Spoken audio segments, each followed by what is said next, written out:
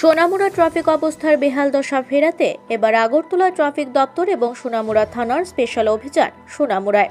দীর্ঘদিন থেকে যান দুর্ঘটনার হিড়িক পড়েছে সোনামুড়ায়। তাই যান দুর্ঘটনা রোধে পুলিশের কড়া নজরদারি।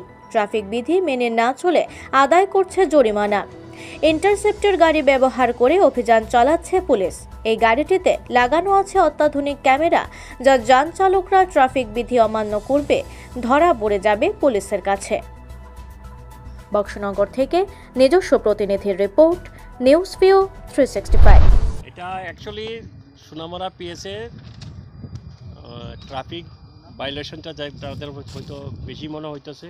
এই কারণে আমাদের আগরতলা যে আমাদের এনফোর্সমেন্টের যে বিকেলটা আছে, এটার মধ্যে স্পিড লিমিটিং মেশিন ব্যাথেন অ্যানালাইজার থেকে আরম্ভ করে আরও অন্য অন্য দিক অত্যাধুনিক মেশিন আছে। তার ফলে ওই গাড়িটা দিয়ে আমরা স্পিড লিমিট বা অ্যানালাইজার এই ধরনের কোনো অপরাধমূলক কাজ হলে আমরা ওইগুলিতে ডিটেকশন করি। এবং আজকে ওই যৌথভাবে থানা এবং আমরা আগরতলা ট্রাফিক পুলিশ আমরা ওই অপারেশন করি। আমরা বিভিন্ন এলাকাতে। কেমন সাফল্য পেয়েছেন এখানে? হ্যাঁ, ভালো সাফল্য হয়েছে এখন আমরা ফাইনের হিসাব টিসাব করি নাই। ফাইন চালান করি মানে ভালো চালানি করছি। থানা এবং আমাদের মিলে যৌথভাবেই ভালো চালানি করছি।